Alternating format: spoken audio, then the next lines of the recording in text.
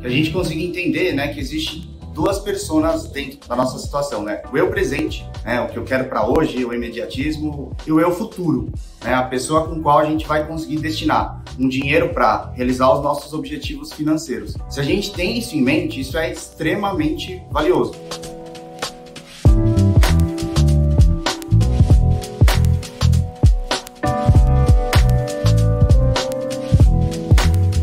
Fala pessoal, tudo bem? Meu nome é Henrique Chan e eu sou planejador financeiro. Bom, um planejador financeiro pessoal, ele ajuda a pessoa a melhorar a relação dela com o seu dinheiro.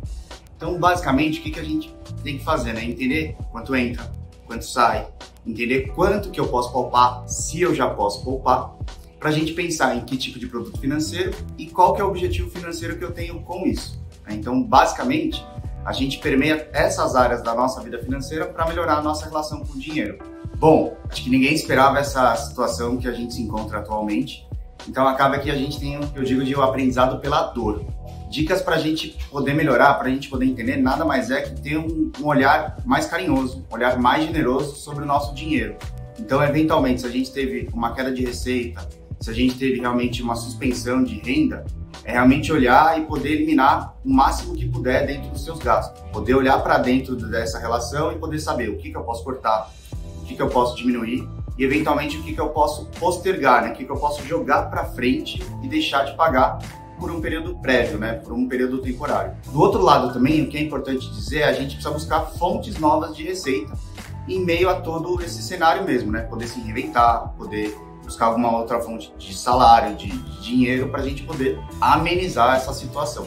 Bom, quem está nessa situação de vermelho, né? Quem está nessa situação realmente mais complicada, é possível voltar. Não estou dizendo que é um caminho fácil de se cumprir, né, de se realizar.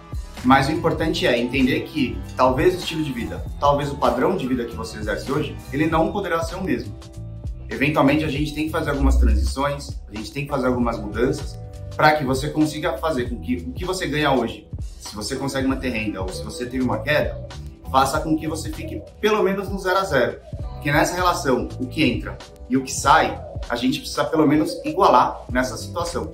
Numa situação mais saudável, numa situação um pouco mais próspera, a gente consiga fazer com que o que entra pague o que sai e a gente consiga ainda destinar uma coisa para a gente poupar. Para a gente pensar num planejamento mais de longo prazo, né, para objetivos financeiros, como a compra de um imóvel, a compra de um carro, sair da casa dos pais, fazer uma tão sonhada viagem, esse olhar carinhoso para o dinheiro é o primeiro passo. Né? Que a gente consiga entender né, que existe duas personas dentro da nossa situação, né? O eu presente, o eu agora, né? O que eu quero para hoje, o imediatismo, o momento de agora.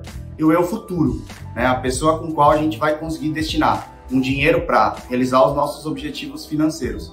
Se a gente tem isso em mente, isso é extremamente valioso, porque vai fazer com que a nossa cabeça pense de uma forma que eu consigo dividir um pouco para o meu eu presente e um pouco para o meu eu futuro. Se a gente conseguir separar isso, já é um passo gigantesco no seu planejamento financeiro, na sua relação com o seu dinheiro. Dentro desse cenário, o importante é, se eu tenho um, pouco mais claro e separar, né, numa situação, eu ganho, eu pago as minhas contas, eu consigo poupar, para depois eu poder gastar o meu dinheiro, é realmente uma dica de bolso que dá para a gente levar aí pro resto da nossa vida. Queria agradecer a participação, né? queria agradecer a oportunidade que a Tegra me deu. Espero que realmente faça um pouco de sentido, que te ajude nesse cenário aí que a gente está vivendo. Valeu!